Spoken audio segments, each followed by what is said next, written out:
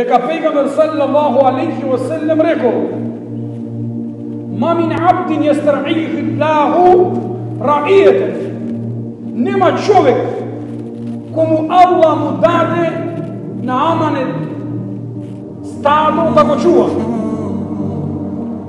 Домачинот, неговото стадо, се неговата жена и неговите деца. يموت يوم يموت وهو كاش liraijetihi illa harram Allahu alejhim džennet. I čovjek od koji izneveri to stado, ne mogu dati toj potreben hak na svoje to stado,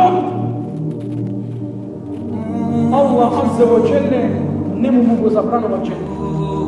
Inna Allaha harrama alejhim džennet.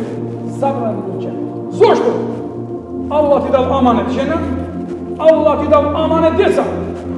Ти си ги препуштил. Ти си ги оставил да прават што сака. Да го трошат нивниот живот.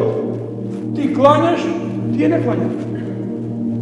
Ти правиш добро, а воспитанието и моралот кај нив си го запоставил. И тоа е најголем пропаст.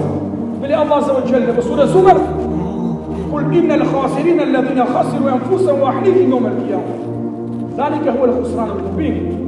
На вистина најголем пропаст. Најголема пропаст за човекот на судниот ден ќе биде кога ќе пропадне тој и неговата фамилија во џехенем.